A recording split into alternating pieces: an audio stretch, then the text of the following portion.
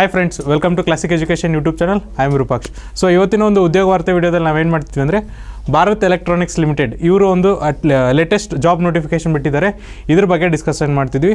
So ನೋಡಿರಿ, ಅದರೊಳಗೆ ಯಾವ್ಯಾವ ಹುದ್ದೆ ಖಾಲಿ ಇದೆ ಅಂದರೆ ಪ್ರೊಜೆಕ್ಟ್ ಇಂಜಿನಿಯರಿಂಗ್ ಹುದ್ದೆ ಖಾಲಿ ಇದೆ ಟ್ರೈನಿ ಇಂಜಿನಿಯರಿಂಗ್ ಹುದ್ದೆ ಖಾಲಿ ಇದೆ ಟ್ರೈನಿ ಫೈನಾನ್ಸ್ ಆಫೀಸರ್ ಒನ್ ಈ ಹುದ್ದೆಗಳು ಖಾಲಿ ಇದೆ.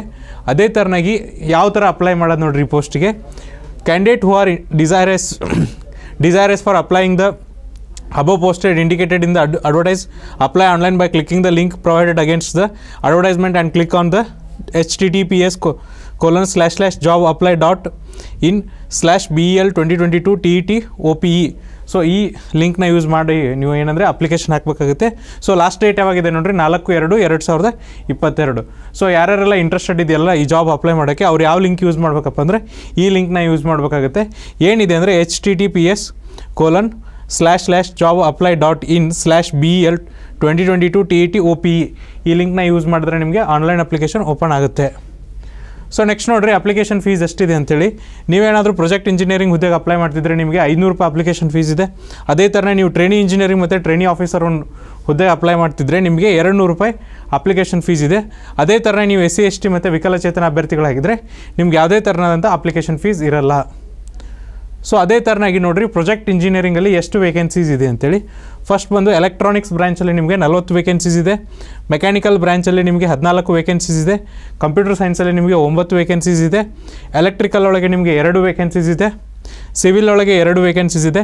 ಹಾಗಾಗಿ ಟೋಟಲ್ ಎಷ್ಟು ವೇಕೆನ್ಸೀಸ್ ಇದೆಯಪ್ಪ ಪ್ರೊಜೆಕ್ಟ್ ಇಂಜಿನಿಯರಿಂಗ್ ಒಳಗೆ ಅಂದ್ರೆ ಅಂದರೆ ಅರವತ್ತೇಳು ವೇಕೆನ್ಸೀಸ್ ಇದೆ. ಸೊ ಅದೇ ಥರನಾಗಿ ಎಜುಕೇಷನ್ ಕ್ವಾಲಿಫಿಕೇಷನ್ ಏನಿದೆ ನೋಡ್ರಿ. B E B tech B S C four year course in engineering degree relevant discipline from recognised university or institution college with fifty five percent and above for general economically weaker section and O B C candidates and below fifty five percent for S C S T and P W D candidates so ನೀವೇನು ಮಾಡಬೇಕಾಗಿರುತ್ತೆ ಅಂದರೆ ಇಲ್ಲಿ ನಾಲ್ಕು ವರ್ಷ B E B tech ಅಥವಾ B S C ಪದವಿಯನ್ನು ಮಾಡಿರಬೇಕಾಗುತ್ತೆ. ನೀವು ಯಾವ ಹುದ್ದೆಗೆ ಅಪ್ಲೈ ಮಾಡಿದ್ರಲ್ಲ ಇನ್ ಕೇಸ್ ನೀವು ಕಂಪ್ಯೂಟರ್ ಸೈನ್ಸ್ಗೆ ಅಪ್ಲೈ ಮಾಡಿದರೆ ಕಂಪ್ಯೂಟರ್ ಸೈನ್ಸ್ ಮೆಕ್ಯಾನಿಕಲ್ಗೆ ಅಪ್ಲೈ ಮಾಡಿದರೆ ಮೆಕ್ಯಾನಿಕಲ್ ಆ ಕೋರ್ಸಲ್ಲಿ ನೀವೇನಂದರೆ ಬಿ ಇ ಪದವಿನ ಪಡೆದಿರಬೇಕಾಗುತ್ತೆ. ಸೊ ಇನ್ ಕೇಸ್ ನೀವೇನಾದರೂ ಜನರಲ್ ಮತ್ತು ಆರ್ಥಿಕ ಹಿಂದುಳಿದ ವರ್ಗ ಅಂದರೆ ಎಕನಾಮಿಕಲಿ ವೀಕರ್ ಸೆಕ್ಷನ್ ಮತ್ತು ಒ ಬಿ ಸಿ ಕ್ಯಾಂಡಿಡೇಟ್ ಆಗಿದ್ದರೆ ನಿಮ್ಮದು ಮಿನಿಮಮ್ ಅಗ್ರಿಗೇಟ್ ಎಷ್ಟಿರಬೇಕಪ್ಪ ಅಂದರೆ ಐವತ್ತೈದು ಪರ್ಸೆಂಟ್ ಇರಬೇಕಾಗುತ್ತೆ. ಅದೇ ಥರ ನೀವು ಎಸ್ ಸಿ ಎಸ್ ಟಿ ಮತ್ತು ವಿಕಲಚೇತನರ ಅಭ್ಯರ್ಥಿಗಳಾಗಿದ್ದರೆ ನಿಮ್ಮ ಮಿನಿಮಮ್ ಅಗ್ರಿಗೇಟ್ ಎಷ್ಟಿರಬೇಕಂದ್ರೆ ಬಿಲೋ ಫಿಫ್ಟಿ ಫೈವ್ ಪರ್ಸೆಂಟ್ ಇರಬೇಕಾಗುತ್ತೆ. ಅದೇ ಥರ ನೋಡಿರಿ ಎಕ್ಸ್ಪೀರಿಯನ್ಸ್ ಕೂಡ ಕೇಳಿದ್ದಾರೆ ಏನು ಎಕ್ಸ್ಪೀರಿಯನ್ಸ್ ಅಂದರೆ minimum two years of relevant industrial post exp qualification experience so ನಿಮಗೆ ಕನಿಷ್ಠ ಎರಡು ವರ್ಷ ಏನಪ್ಪ ಅಂದರೆ ಪೋಸ್ಟ್ ಇಂಡಸ್ಟ್ರಿಯಲ್ ಕ್ವಾಲಿಫಿಕೇಷನ್ ಎಕ್ಸ್ಪೀರಿಯನ್ಸ್ ಇರಬೇಕಾಗುತ್ತೆ. ಜೊತೆಗೆ ನೋಡಿರಿ ಅಪ್ಪರ್ ಏಜ್ ಲಿಮಿಟ್ ಎಷ್ಟಿದೆ ಅಂದರೆ ಮೂವತ್ತೆರಡು ವರ್ಷ ಇದೆ. ಸೊ ಇದಾದಮೇಲೆ ಟ್ರೈನಿ ಇಂಜಿನಿಯರಿಂಗ್ ಇಲ್ಲಿ ಏನು ವೇಕೆನ್ಸೀಸ್ ಇದೆ ನೋಡಿರಿ. ಫಸ್ಟ್ ಬಂದು ಎಲೆಕ್ಟ್ರಾನಿಕ್ಸ್ ಬ್ರಾಂಚ್ ಒಳಗೆ ನಿಮಗೆ ನೂರ ಮೂರು ವೇಕೆನ್ಸೀಸ್ ಇದೆ. ಮೆಕ್ಯಾನಿಕಲ್ ಒಳಗೆ ನಿಮಗೆ ಐವತ್ತು ವೇಕೆನ್ಸೀಸ್ ಇದೆ. ಕಂಪ್ಯೂಟರ್ ಸೈನ್ಸ್ ಒಳಗೆ ಎಂಟು ವೇಕೆನ್ಸೀಸ್ ಇದೆ. ಎಲೆಕ್ಟ್ರಿಕಲ್ ಒಳಗೆ ಏಳು ವೇಕೆನ್ಸೀಸ್ ಇದೆ. ಆರ್ಕಿಟೆಕ್ಟರ್ ಒಳಗೆ ಒಂದು ವೇಕೆನ್ಸೀಸ್ ಇದೆ. ಟೋಟಲಾಗಿ ಎಷ್ಟು ವೇಕೆನ್ಸೀಸ್ ಇದೆಯಪ್ಪ ಅಂದರೆ ನೂರ ಅರವತ್ತೊಂಬತ್ತು ವೇಕೆನ್ಸೀಸ್ ಇದೆ. ಅದೇ ಥರನಾಗಿ ಎಜುಕೇಷನ್ ಕ್ವಾಲಿಫಿಕೇಷನ್ ಏನಿದೆ ಅಂದರೆ B E B tech B S C four years course or B. Architecture 5 years engineering course degree in relevant discipline from a recognized university or institution or college with minimum 55% aggregate and above for the general economically weaker section at OBC candidates and below 55% for SC, ST and person with benchmark disability candidates so ನೋಡಿರಿ, ಇಲ್ಲಿ ನಿಮ್ಮ education qualification ಏನಿದೆ ಅಂದರೆ, ನೀವು ನಾಲ್ಕು ವರ್ಷ B B tech ಅಥವಾ B S C course ಮಾಡಿರಬೇಕು ರೆಲೆವೆಂಟ್ ಫೀಲ್ಡಲ್ಲಿ ಅಥವಾ ಐದು ವರ್ಷ ಬಿ ಆರ್ಕಿಟೆಕ್ಚರ್ ಕೋರ್ಸ್ನ ಮಾಡಿರಬೇಕಾಗುತ್ತೆ. ಸೊ ಆರ್ಕಿಟೆಕ್ಚರ್ಗೆ ಸಂಬಂಧಪಟ್ಟಂಗೆ ಯಾವುದಾದ್ರೂ ಇನ್ಸ್ಟಿಟ್ಯೂಟಿಂದ ಅಥವಾ ಕಾಲೇಜಿಂದ ನಿಮ್ಮ ಅಗ್ರಿಗೇಟ್ ಎಷ್ಟಿರಬೇಕಪ್ಪ ಅಂದ್ರೆ, ಇಲ್ಲೇ ನೀವೇನಾದರೂ ಜನರಲ್ ಮತ್ತು ಎಕನಾಮಿಕಲಿ ವೀಕರ್ ಸೆಕ್ಷನ್ ಮತ್ತು ಒ ಬಿ ಸಿ ಕ್ಯಾಂಡಿಡೇಟ್ ಆಗಿದ್ದರೆ minimum fifty five percent aggregate ಇರಬೇಕಾಗುತ್ತೆ. ಅದೇ ಥರ ನೀವು ಎಸ್ ಸಿ ಎಸ್ ಟಿ ಮತ್ತು ವಿಕಲಚೇತನ ಅಭ್ಯರ್ಥಿಗಳಾಗಿದ್ದರೆ ನಿಮ್ಮದು ಫಿಫ್ಟಿ ಫೈವ್ಗಿಂತ ಕಮ್ಮಿ ಅಗ್ರಿಗೇಟ್ ಇದ್ದರೂ ನಡೆಯುತ್ತೆ.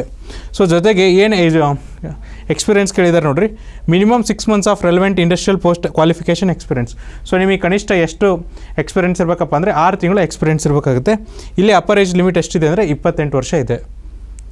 ಸೊ ಅದೇ ಥರನೇ ಟ್ರೈನಿ ಆಫೀಸರ್ ಫೈನಾನ್ಸ್ ಇಲ್ಲಿ ಏನು ವೇಕೆನ್ಸೀಸ್ ಇದೆಯಪ್ಪ ಅಂದರೆ ಇಲ್ಲಿ ಹನ್ನೊಂದು ವೇಕೆನ್ಸೀಸ್ ಇದೆ.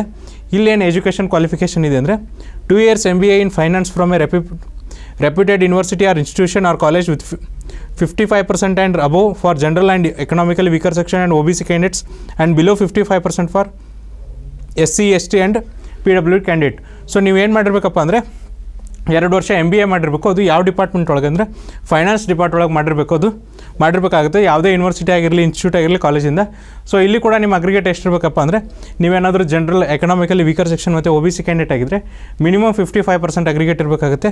ಅದೇ ಥರ ನೀವು ಎಸ್ ಸಿ ಎಸ್ ಟಿ ಮತ್ತು ಪಿ ಡಬ್ಲ್ಯೂ ಡಿ ಕ್ಯಾಂಡಿಡೇಟ್ ಆಗಿದ್ದರೆ ಮಿನಿಮಮ್ ಅಂದರೆ ಫಿಫ್ಟಿ ಫೈವ್ಗಿಂತ ಕಮ್ಮಿ ಪರ್ಸೆಂಟೇಜ್ ಇರಬೇಕಾಗುತ್ತೆ. ಸೊ ಇಲ್ಲಿ ಎಕ್ಸ್ಪೀರಿಯೆನ್ಸ್ ಎಷ್ಟಿರಬೇಕಪ್ಪ ಅಂದರೆ, ಇಲ್ಲಿ ಕೂಡ ನಿಮಗೆ ಆರು ಮಂತು ರೆಲ್ವೆಂಟ್ ಫೀಲ್ಡ್ ಎಕ್ಸ್ಪೀರಿಯೆನ್ಸ್ ಇರಬೇಕಾಗ್ತದೆ. ಜೊತೆಗೆ ಇಲ್ಲಿ ಏಜ್ ಲಿಮಿಟ್ ಎಷ್ಟಿದೆಪ್ಪ ಅಂದರೆ, ಇಲ್ಲಿ ಕೂಡ ಇಪ್ಪತ್ತೆಂಟು ವರ್ಷ ನಿಮ್ದು ಏನಂದರೆ ಅಪ್ಪರ್ ಏಜ್ ಲಿಮಿಟ್ ಇದೆ. ಸೊ ಜೊತೆಗೆ ನೋಡಿರಿ, ಸಬ್ ಈಗ ಯಾವ ಡಿಸಿಪ್ಲಿನ್ ಅವರು ಅಪ್ಲೈ ಮಾಡ್ಬೋದು ಅಂತ. ಫಸ್ಟ್ ಆಫ್ ಆಲ್ ಎಲೆಕ್ಟ್ರಾನಿಕ್ಸ್ ಬ್ರಾಂಚಿಗೆ ಯಾರ್ಯಾರು ಅಪ್ಲೈ ಮಾಡ್ಬೋದು ಅಂದರೆ, ನೀವೇನಾದರೂ ಎಲೆಕ್ಟ್ರಾನಿಕ್ಸ್ ಬ್ರ್ಯಾಂಚಲ್ಲಿ ಇಂಜಿನಿಯರಿಂಗ್ ಮಾಡಿದರೆ ಅಥವಾ electronics and communication electronics and telecommunication communication and telecommunication ಈ ಬ್ರಾಂಚಲ್ಲಿ ನೀವೇನು ಕಮ್ಯುನಿಕೇಷನ್ ಆ್ಯಂಡ್ ಟೆಲಿಕಮ್ಯುನಿಕೇಷನ್ ಈ ಬ್ರಾಂಚಲ್ಲಿ ನೀವೇನಾದರೂ ಇಂಜಿನಿಯರಿಂಗ್ ಪದವಿ ಮಾಡಿದರೆ ನೀವು ಎಲೆಕ್ಟ್ರಾನಿಕ್ಸ್ ಬ್ರಾಂಚಿಗೆ ಅಪ್ಲೈ ಮಾಡ್ಬೋದು. ಇನ್ ಕೇಸ್ ನೀವು ಮೆಕ್ಯಾನಿಕಲ್ ಇಂಜಿನಿಯರಿಂಗಲ್ಲಿ ಅಪ್ಲೈ ಮಾಡಿದರೆ ಮೆಕ್ಯಾನಿಕಲ್ ಬ್ರಾಂಚಿಗೆ ಅಪ್ಲೈ ಮಾಡ್ಬೋದು. ಅಥವಾ computer science computer science and engineering computer science engineering ಇದರಲ್ಲಿ ನೀವೇನಾದರೂ ಪದವಿ ಮಾಡಿದರೆ ಕಂಪ್ಯೂಟರ್ ಸೈನ್ಸ್ ವಿಭಾಗಕ್ಕೆ ಅಪ್ಲೈ ಮಾಡ್ಬೋದು. ಸಿವಿಲ್ ಇಂಜಿನಿಯರಿಂಗಲ್ಲಿ ನೀವು ಪದವಿ ಮಾಡಿದರೆ ಸಿವಿಲ್ ಬ್ರಾಂಚಿಗೆ ಅಪ್ಲೈ ಮಾಡ್ಬೋದು. ಎಲೆಕ್ಟ್ರಿಕಲ್ ಆ್ಯಂಡ್ ಎಲೆಕ್ಟ್ರಾನಿಕ್ಸ್ ಇಂಜಿನಿಯರಿಂಗ್ ಮತ್ತು ಎಲೆಕ್ಟ್ರಿಕಲ್ ಇಂಜಿನಿಯರಿಂಗ್ ಇದರಲ್ಲಿ ನೀವೇನಾದರೂ ಇಂಜಿನಿಯರಿಂಗ್ ಪದವಿ ಮಾಡಿದರೆ ಎಲೆಕ್ಟ್ರಿಕಲ್ ಡಿಪಾರ್ಟ್ಮೆಂಟಿಗೆ ಅಪ್ಲೈ ಮಾಡ್ಬೋದು. ಆರ್ಕಿಟೆಕ್ಟಲ್ ಇಂಜಿನಿಯರಿಂಗ್ ಒಳಗೆ ನೀವು ಏನಾದರೂ ಪದವಿನ ಪಡೆದಿದ್ರೆ ಆರ್ಕಿಟೆಕ್ಟ್ ಡಿಪಾರ್ಟ್ಮೆಂಟ್ಗೆ ಅಪ್ಲೈ ಮಾಡ್ಬೋದು. ಸೊ ನೋಡಿರಿ, ಯಾವ ಫೀಲ್ಡಿಗೆ ಯಾವ ಡಿಸಿಪ್ಲಿನ್ ಅಂತ. ಸೊ ಎಲೆಕ್ಟ್ರಾನಿಕ್ಸ್ ಅವ್ರು ಯಾರ್ಯಾರು ಅಪ್ಲೈ ಮಾಡಬೇಕು ಮೆಕ್ಯಾನಿಕಲ್ ಅವ್ರು ಯಾರ್ಯಾರು ಅಪ್ಲೈ ಮಾಡಬೇಕು ಅಂತ ಕೊಟ್ಟಿದ್ದಾರೆ. ಇವರು ಇಲ್ಲಿ ಅಪ್ಲೈ ಮಾಡ್ಬೋದು. ನೆಕ್ಸ್ಟ್ ನೋಡಿರಿ ಸೆಲೆಕ್ಷನ್ ಪ್ರೊಸೀಜರ್ ಯಾವ ಥರ ಇದೆ ಅಂತ ನೋಡ್ರಿ. ಫಸ್ಟ್ ನಿಮಗೆ aggregate marks scored in the relevant degrees qualification ಅಲ್ಲಿ ವೇಟೇಜ್ ಎಷ್ಟಿರುತ್ತಪ್ಪ ಅಂದರೆ ಎಪ್ಪತ್ತೈದು ಪರ್ಸೆಂಟ್ ಇರುತ್ತೆ. ಸೊ ನೀವು ಡಿಗ್ರೀಲಿ ಎಷ್ಟು ಸ್ಕೋರ್ ಮಾಡಿದ್ದೀರ ಅನ್ನೋದ್ರ ಮೇಲೆ ನಿಮಗೆ ಎಪ್ಪತ್ತೈದು ಪರ್ಸೆಂಟ್ ವೇಟೇಜ್ ಕೊಡ್ತಾರೆ.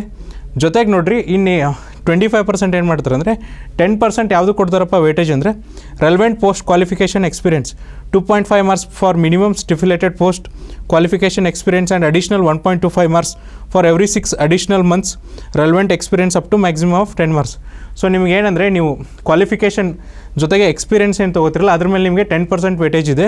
ಸೊ ಮಿನಿಮಮ್ ನೀವೇನಾದರೂ ಪೋಸ್ಟ್ ಎಕ್ಸ್ಪೀರಿಯೆನ್ಸ್ ಇದ್ದರೆ ನಿಮಗೆ ಎರಡೂವರೆ ಮಾರ್ಕ್ಸ್ ಕೊಡ್ತಾರೆ.